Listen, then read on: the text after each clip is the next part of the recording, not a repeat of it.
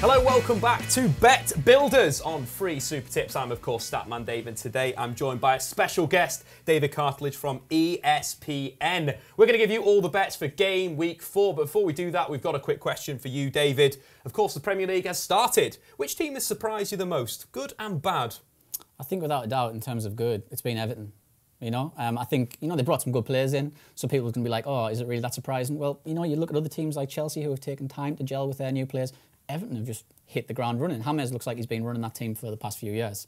So I think that's me, definitely Everton. In terms of bad, I think Sheffield United. And maybe it's credit to them that they've set the bar so high for themselves. They've been such a good Premier League side that now when you see them like this, just not really finding their rhythm, not really having the energy what they used to, that you know they're not playing so well. So we'll see. But I think they'll kick on. Interesting. We're going to dive into that a little bit later on, both Everton and Sheffield United. We're also going to touch on, of course, Pep Guardiola. Is he a fraud? Is he finished? We're going to talk about Chelsea's defence and their attack. And also, can Ole Gunnar Solskjaer once again beat Jose Mourinho? If you want to check out more free super tips, go over to their website, freesupertips.com. They've got all the action over there for game week four, but of course, gamble responsibly. Now, I think it's time to look back on our bets from last week. Of course, you weren't involved in that, but again, we picked some winners. Oh, all right. Pressure on me then. Pressure on Pressure you on me. The Jeez. first guest to score. We're looking you to open up the scoring, a debut Okay. goal. So let's take a look at the bets right now. We picked a winner in the Manchester United game. Bruno Fernandes, anytime, of course, a Manchester United win and over 2.5 goals. There's a lot of goals in that game, but we'll talk about United a little bit later on. And FST picked out a Newcastle or drawn at under three goals in the game. Great bets. But now I think it's time to talk about our first game of the weekend. That, of course, is Chelsea versus Crystal Palace. Both teams come into this game in a little bit of wayward form. Chelsea, of mm. course, drawing 3 3 with West Brom, and Crystal Palace having a little bit of a slow start after impressing against Manchester United. Let's talk Chelsea first. They look a bit of a mess at the back. Mistakes from Marcos Alonso, Thiago Silva, and potentially even Reece James for that last goal. They've got to sort that out, haven't they? Yeah, there's a lot going on at the moment with Chelsea. I think there's a lot that they have to get right. You look at every position, they've got a new goalkeeper, they've got new defenders, they've got new midfielders, they've got new attackers. So there's a lot going on there.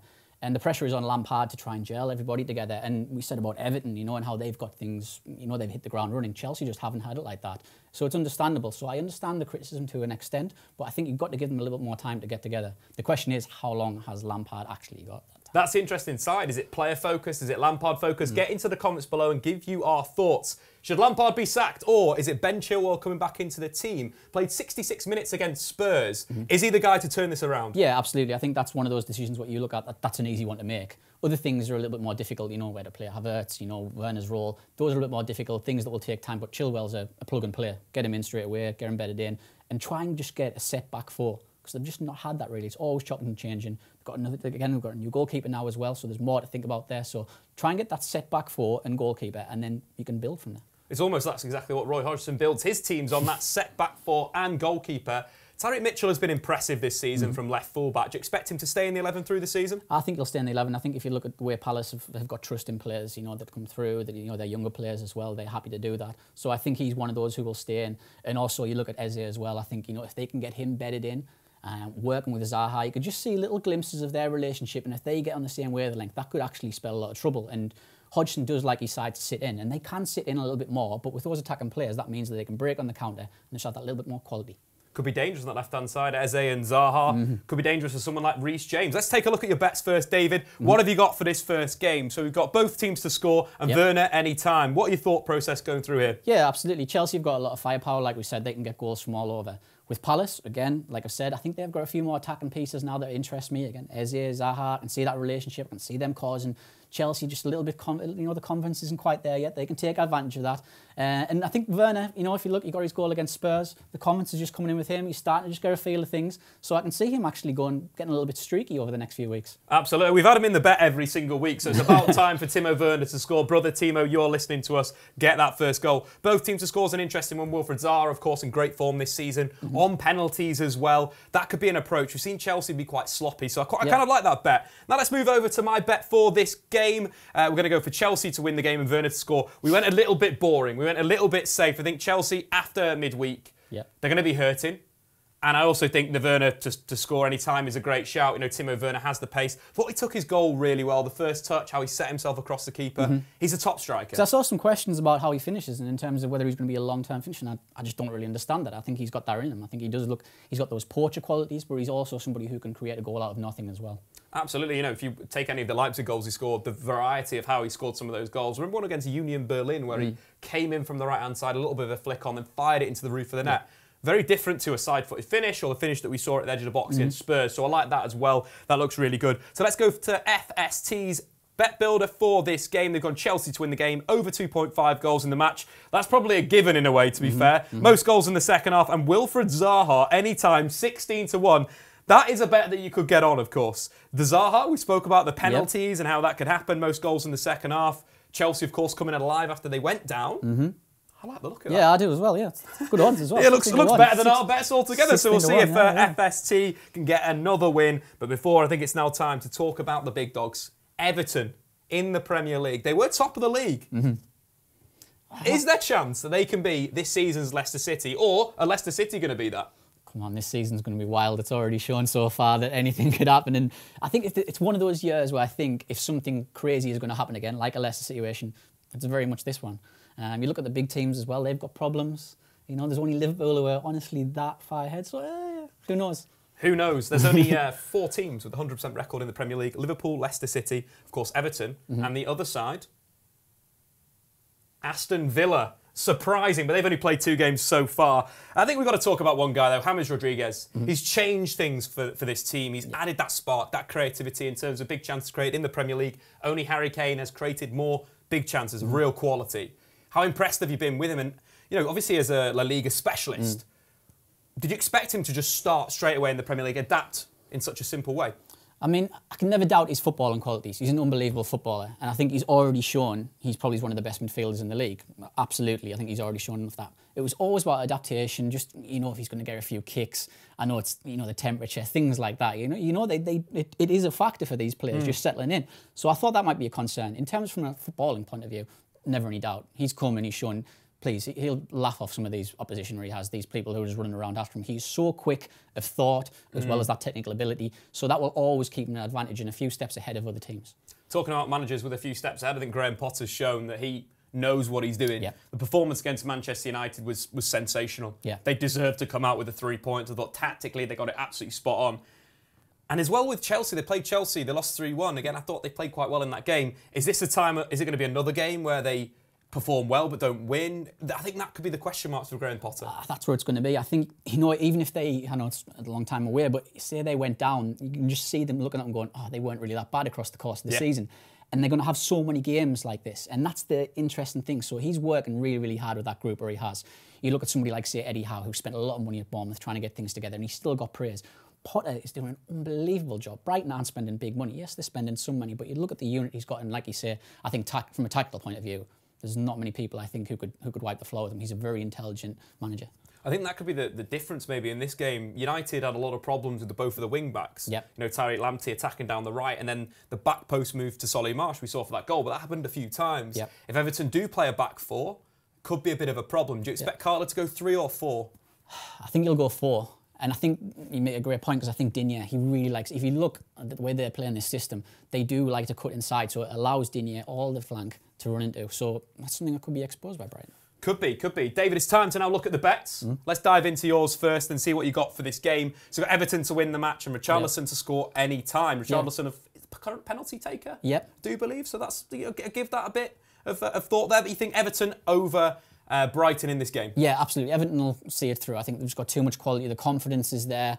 Um, and I think with Richarlison, you know, all the focus has been on Dominic Calvert-Lewin. Rightly so. He's been Yeah. fantastic. But you look at the work that Richarlison, you know, again, goals are coming there with him. You just see it. Just, and I think he's another one who could just get, go on a little streak. And uh, yeah, I think it's about his time to score. I think it's quite interesting as well with James stepping inside and then Mm. could be looking for that back post. You know, we've seen him look quite a lot for Calvert Lewin, but maybe it's now going to be that new through ball to the back stick. And you're Yep. thinking, Digne as well, pushing forward. Decent bet, 21 to 10. Yeah. Now let's take a look at my bet of the game. I've gone a little bit wild here. We've got Everton draw, double chance. I'm just protecting myself there because I do respect Brighton. I think they're a very good football inside. Maupay to score any time. His XG looks very, very good this Yeah. season. He's on penalty, so I expect him to grab a goal. Uh, Calvert Lewin at any time as well. Mm-hmm. If you're looking at non penalty XG, yes, we bring advanced metrics out on this show. He is number one in the Premier League. Of course, because of James Rodriguez, Digne, Richarlison. I think there's a lot of quality in that midfield that are created. Calvert Lewin, he is a poacher. Yeah, absolutely. I think he's a poacher, and I think you know we've looked at him since he's emerged on the scene.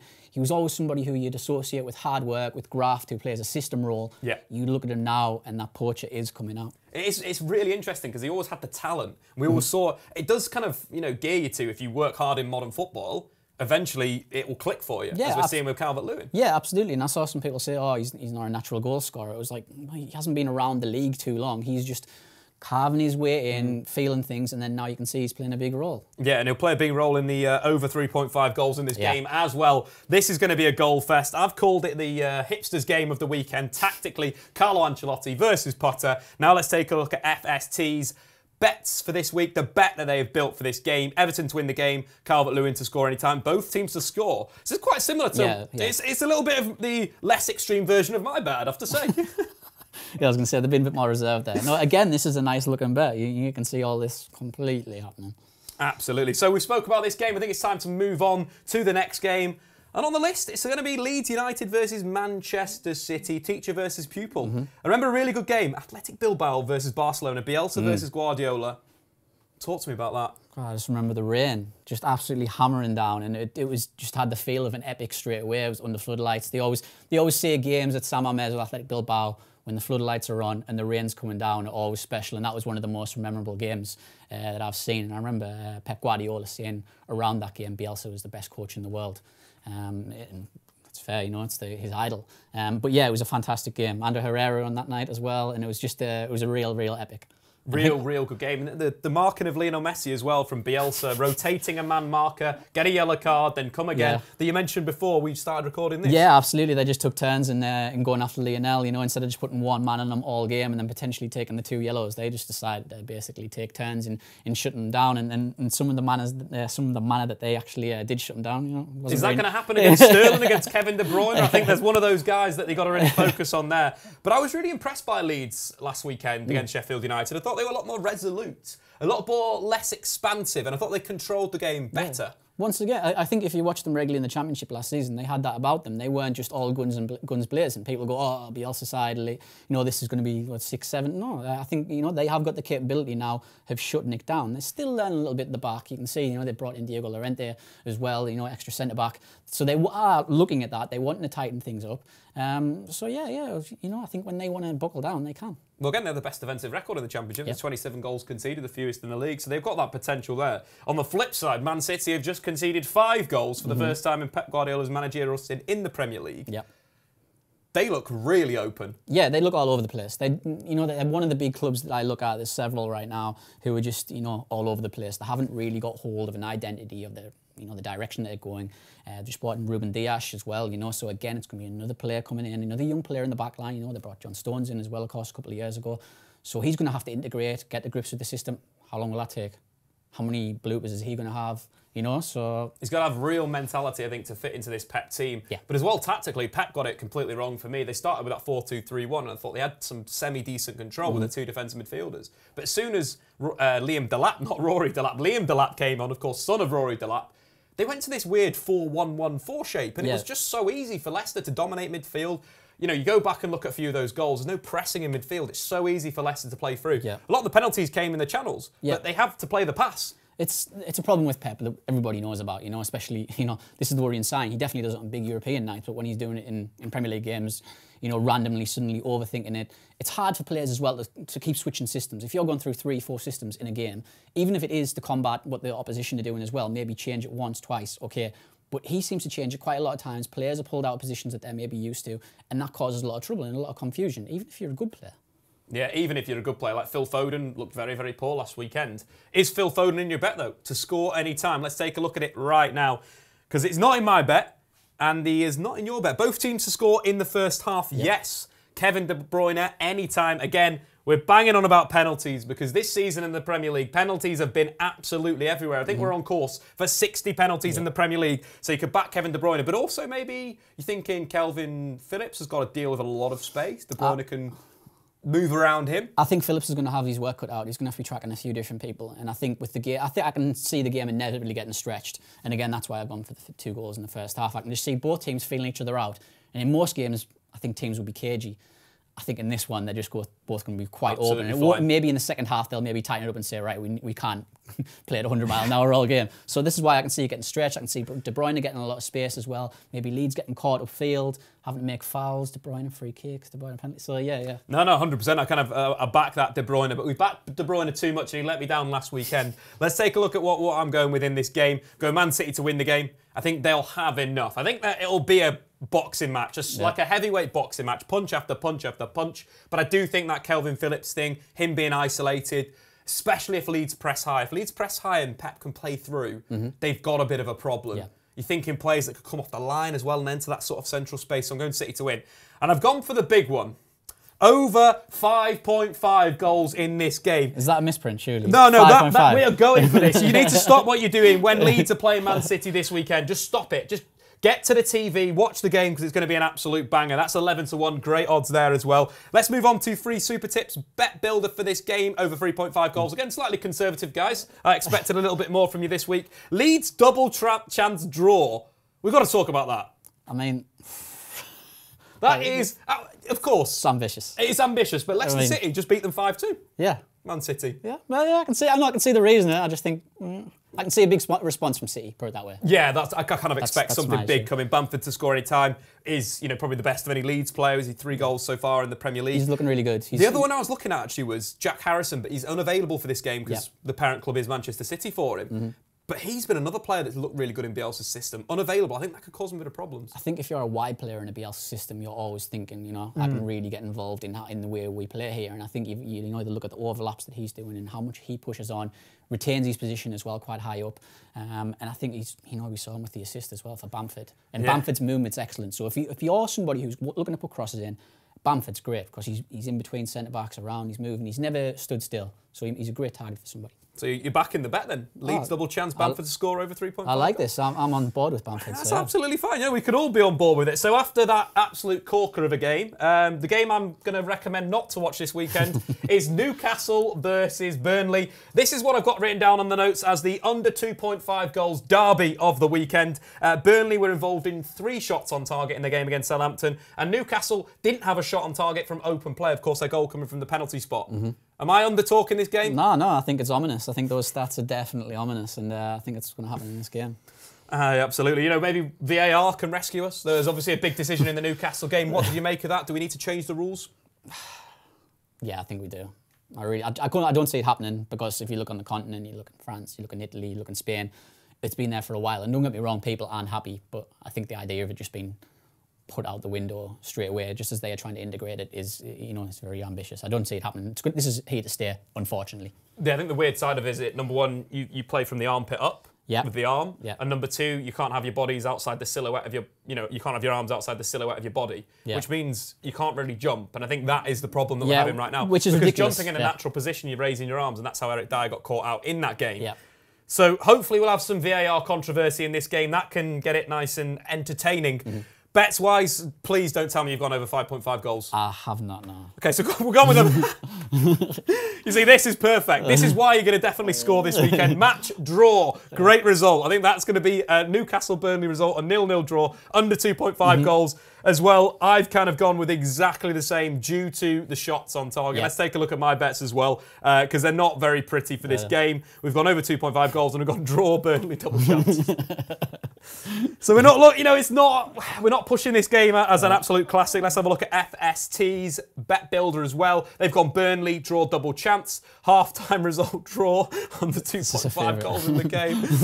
Oh yeah, no, maybe that's the one where you go out and uh, you go and get yourself your dinner, or you go to the shops and do your weekly shopping. Um, next up, let's talk about Leicester City West Ham. I think that could be quite an interesting one. You're thinking West Ham quite impressive against Wolves, that 4 0 win? Yeah, they look a little bit better than, but I don't think they're good enough to win this game. No, I, I- I kind of I kind of agree with that. I thought Michail Antonio though, although he didn't get a goal or an assist, really did well Oh, against he- Wolves' back three. He's got such a focal point role on that side, Mm. you know, so, so he's very at home, you know, and, and it's a great target for people as well if they know that that person's up there who can hold up the ball. Soucek brings somebody like Soucek Yeah. into play as well, who, who's starting to grow as well, and you can see, you know, they didn't pay much money for him. no, bargain. Yeah, it seems to be these players they don't pay much money for West Ham. And they're paying The work, and Sebastian Haller sitting on the bench for 40 million Yeah. quid. I think Jarrod Bowen as well, two goals last week. I yeah. thought he he impressed me last back end of last season. I watched him against Manchester United Mm-hmm. at Old Trafford, and he, he had something about him. Yeah, he's a good player. I think he's got a lot of skill about him, but Hmm. also I think he puts in, you know, he's got hard work. He's, he's definitely a Premier League level player, absolutely. Absolutely. So we're looking, you know, West Ham impressive, Mm-hmm. but not impressive as Leicester City. Again, that 100% record. Thought how they dismantled Pep's team with that 3 4 2 1. Harvey Barnes has been someone, you know, Vardy's getting all the headlines, but Harvey Barnes is a player that every time I watch him, always seeing a little bit else to it. You know, something else has been added to his game. Mm-hmm. Thought against City, his direct dribbling was really good. Yep. Oh, I think he's added a lot since he came in the side. If you look, he's he's been an upgrade on Ayoze Perez. I think in, in terms, Oh, absolutely. yeah, Yeah. in terms of what he offers, he's got a goal scoring threat as well. Yeah. So, so like you say, I think you look at how he links up their attack, um, and it gives Vardy another energetic presence in attack as well. And I think it gives that Vardy that position as well. You know, we saw with the through ball that he played Yeah. for that penalty that he can spin, knowing that Barnes has got that ability and that awareness. Just one last stat on Harvey Barnes, of course, in terms of midfielders in the Premier Mm. League. Only Salah and Mane have had more shots on him. So he's a player that could be on the score sheet. Is he in your bet? Have you slipped Harvey Barnes in? We put him in last week and he didn't score after scoring the week before. So not this time. Then we're going with Leicester half time, full time. So you're thinking a dominant Yeah. Leicester display uh, and Vardy anytime. Yep, absolutely. I can see Leicester just starting brightly again, building up what they've done so far, getting the game over and done by half time. I think. You know, it, it does depend whether David Moyes is going to be there though. In pre- you know, It does because West Ham looked a bit better with David Moyes at home. Maybe David Moyes needs to be in his command centre, computer out, getting all the stats there. You know what I mean, David? Uh, Vardy, stat for you here: most penalties won in the Premier League this season, There you go. three so far. So if Vardy's going to be, you know, the thing with Vardy hasn't quite come alive for me. Mm-hmm. A lot of the stuff that he's done well is generally winning penalties, and he hasn't really taken as many shots as you'd expect. He hasn't got into as Mm-hmm. many good positions, bar, of course, the, the wonderful flick. That was a sensational goal. But it feels like he's not doing like the basic things, like getting the ball in certain areas and having a crack at goal. I think now he's got those goals. Confidence. Will op- yeah, will open something up for him. He's like, all right, might start taking a pot. So I think you've been a bit conservative. I've gone a little bit more AWOL here. Leicester to win the game, Vardy anytime, over 3.5 goals. Mm. I think when you're looking at James Maddison's back in the side as well, spoke about Barnes being in the mood, Indeed, potentially back in midfield, mm. Justin and Castagne fullback look really, really good. I just can't look past. She looked like three, three one or something like that. maybe. 1, Yeah, 4 yeah, 1, yeah. maybe a 4 2. Yeah. I think there'll be goals in this game as well. Now let's take a look at free super tips, bet builder as well, because those guys usually get it right. Leicester to win the game by two or more goals. Vardy to score any time and over 2.5 Mm-hmm. in the match. So we're all back in Leicester City. Yeah, absolutely. Yeah, we're all on the same page here. I do like the over, uh, you know, two or more goals. I think Leicester are in form. They are scoring goals, Mm-hmm. and it is that penalty threat from Jamie Vardy that we we can't ignore due to the rules. Yeah, I was going to say the penalties is going to be such a big factor this season. I think with, with any of these bets, you know, so it's something we have to you know keep in mind. We do have to keep in mind. So we spoke about Leicester City. Mm-hmm. Next up, we've got Southampton versus West Brom, which could be a good game, could be a bad game. I think it's one of those games where both sides kind of kick-started their campaign last time out. Yeah. Southampton taking a 1-0 win over Burnley, and of course West Brom scoring three in the epic 3-3 draw. Mm-hmm. Do you think that's a turning point for both teams? I think both. I think they're both good sides. I think they've both got things about them. I think they've both got individuals who can change games in an instant. You know, you look at Pereira with uh, West Brom, and I think Southampton's got several players. You know, I'm really liking Che Adams this season, as we'll, we'll see in a minute.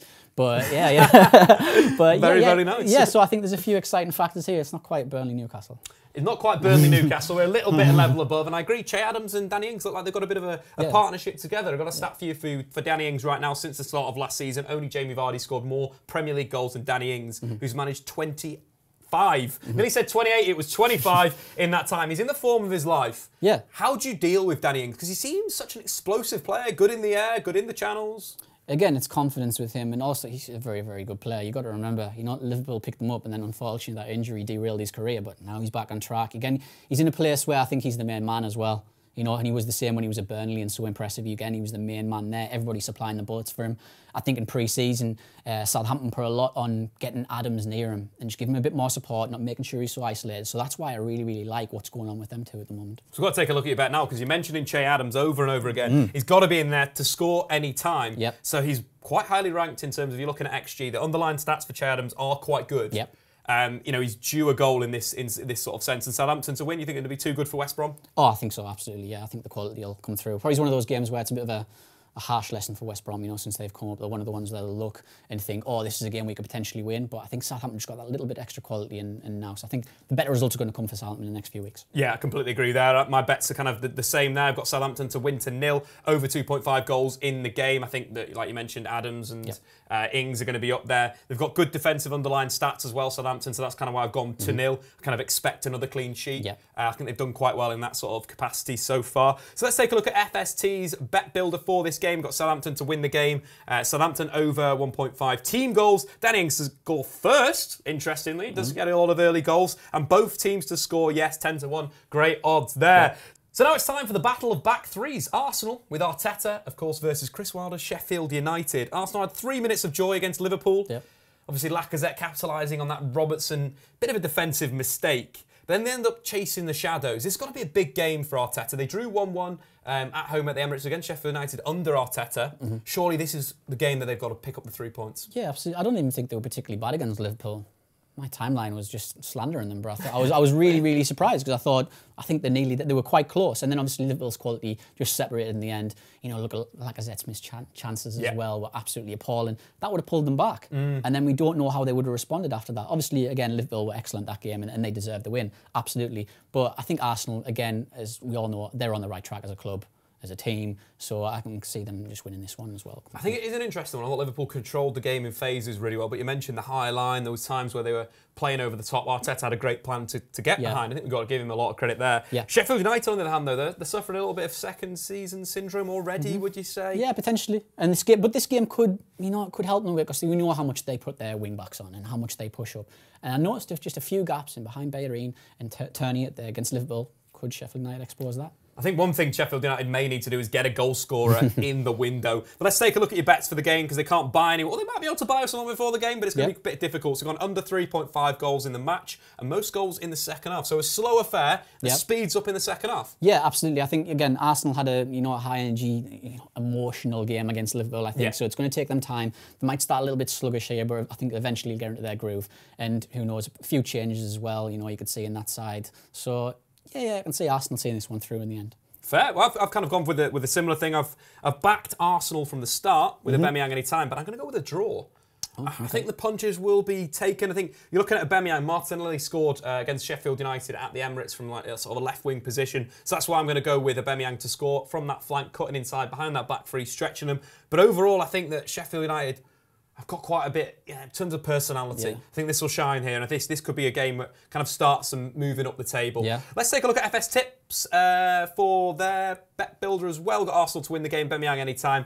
Under three goals, so they're kind of yeah. matching you up with the yeah. not many goals in this game. No, no, I don't think so. I think it's going to be a tight, cagey affair. I think again, Sheffield United just aren't really there yet. Arsenal again, smarting, just coming off that Liverpool game. So both sides we so yeah, it's absolutely under three goals. So let's move on to Wolverhampton. Wolves against Fulham. The surprise result, of course, of game week three was that 4 0 defeat to West Ham United. Yeah. Surely Nuno's men can't do the same against Fulham, who have been poor, to say the least. You'd have to think so. I mean, if they could just skip straight to the second half, then you know I think they might have been. right. Cause, yeah, because we know what they are like in first halves. It's it's incredible. Like we still don't really have an explanation as to as to why that is. Maybe a little bit more cagey in first halves again, but you expect a big big response here. You, you, really do. I think the way that Michail Antonio bullied the defence, yeah. Saïss, Conor Coady, who's been so good recently. Yeah, who are two very, very strong combative centre backs themselves as well. So it was a bit of a surprise in that sense. What a massive surprise. That was a game that completely flipped the form on their head. Yeah. Can Mitrovic do the same, though?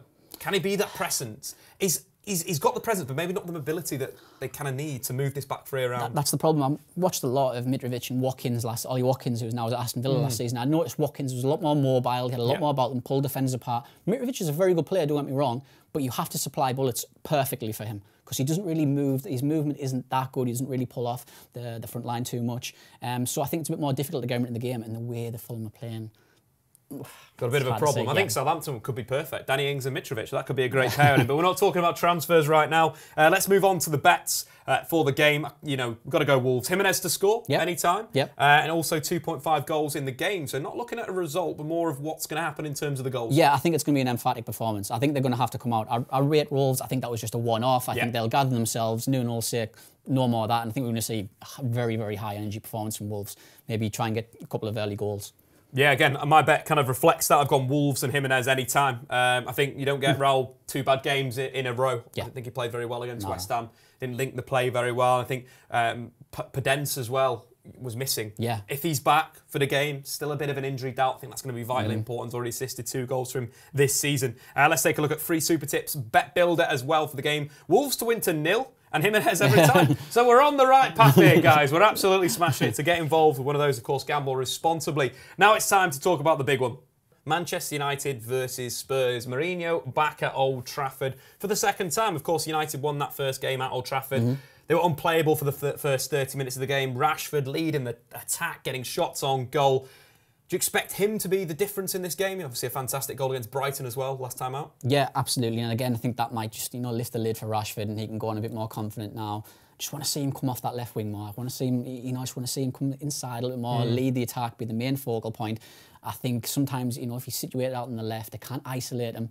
So I think, you know, you know, we need to get him back in front of goal. We need to get him close to goal again. I think that's what you know, Man United need to see. That's what Alex Telles is going to do when he joins, um, of course. uh, but no, the other thing in terms of Spurs, they've, they've looked really good with Son, with Kane. The, the way that they completely undressed Southampton was fantastic. Yeah. Balls into the feet of Kane. Son running in behind. Four goals, four assists for the pair. Uh, but no Heung-min Son. Potentially. Hamstring injury.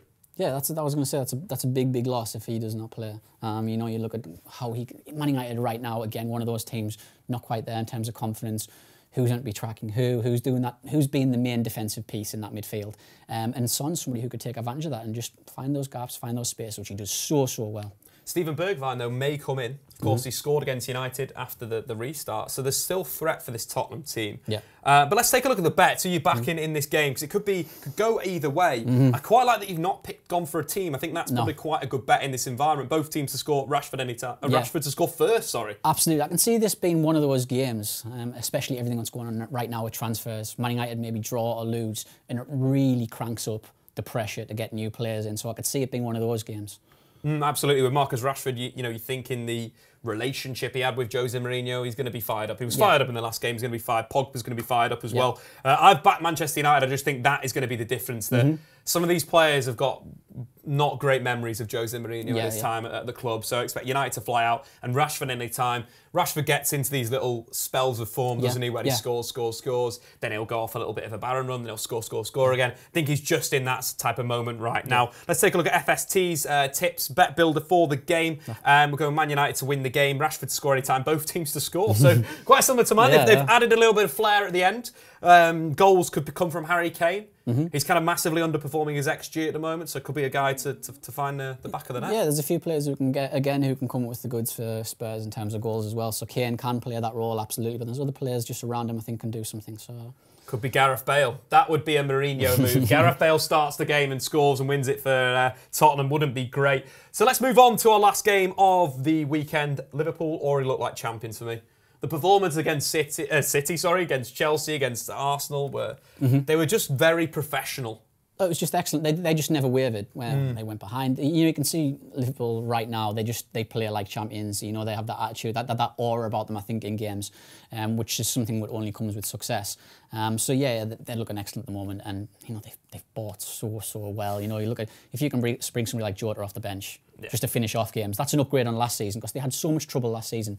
No disrespect to Origi, but Jota's a, a, a- you know it's a much better impact sub to have. Oh, absolutely, no, a really underrated player. That was underrated, and Liverpool obviously saw the stats, brought him in, and having a good time with him. Mm. Now, Villa, on the other hand, have got the best defensive record in the, in the league. Mm. If you told me that two games in at the start, I would not have believed you. But they've conceded, uh, you know, one of the fewest goals. They've only had mm-hmm. four shots on target, Yeah. and of course, two clean sheets. So, do you think Liverpool are going to have enough for that? I think it's not going to be as easy as, as you think. I think you know you bring it up really, really well. I think Villa's got a really, really good goalkeeper now, Martinez. I really, really like Douglas Luiz as I well. I don't know why the Liverpool, Liverpool, Arsenal let him Yeah. go. Yeah, it was it's a strange one. So yeah, yeah, they've got Martinez, they've got Douglas Luiz, Yeah. who I think just sits in front of that defence. Very, very smart player. So I think Liverpool's going to come into the game and they can't underestimate uh, Villa at the moment. Absolutely. Let's take a look at the bets for the game. Um, starting with your bets, under 3.5 goals in the game. Salah to score any time. I like the Salah, Salah shout. Yep. I think Mane has taken the last two games Yep. where he's been the guy. He's been the focal point. Yeah. He's been the guy making things happen. But Salah has been excellent. You know, it just That's- it- again, that's the thing, isn't he's it? one of those players where you can just see it's just Yeah. it's about to happen. It's bubbling away. yeah, yeah, yeah, absolutely. And I think, you know, the, the, the goal that Mane scored was just Mohamed Salah brilliant. That, the pace and the strength that he had to go around Tierney was sensational. Yeah. He's also had 17 shots so far in the Premier League, four more than any other player. I think it's his turn. It's I think coming. it's turn. I completely agree with that. Yep. Under 3.5, so you think Yep. it could be quite cautious? Well, Villa's defensive Yep, record Villa's does, does state that. And of course, Liverpool need to improve their defensive record as well. Um, so, you know, I quite like that as well. I'm, my- I'm slightly different. I'm backing Liverpool, uh, backing Mohamed Salah to score for the reasons just mentioned. Both teams to score. Kind of think that there is a little bit of creakiness in this Liverpool team. We saw Lacazette right, okay. getting behind. Yeah. You could potentially be, uh, you know, looking at someone like Ollie Watkins Yeah, yeah. to make that same move. Liverpool to win the game, though, I thought, you know, they were sensational, especially in midfield against uh, Arsenal. They misplaced just six passes from their starting midfield. So Fabinho, Wijnaldum and Naby Keita, which was sensational. So I'm going with that. So let's take a look at FST's bet builder for this game. We've got Liverpool to win the game, Liverpool to score in both halves, and Mane. So they're going Mane to score, we're which is fair. Because again, rating them by XG, Mane is above Salah right now. But, you know, we kind of gone the other way. So it's going to be good to mm-hmm. see free super tips bet builder coming in this time. Well, that is that for this week's bet building. We've had a lot of fun for game week four in the Premier League. David Cartlidge, where can we find your work? You can find me over at ESPN or follow me on Twitter at David Jacker. Absolutely fantastic, guys. Gamble responsibly, of course. If you want to bet back any of our bets for this week, and we'll be back next time to build some more bets.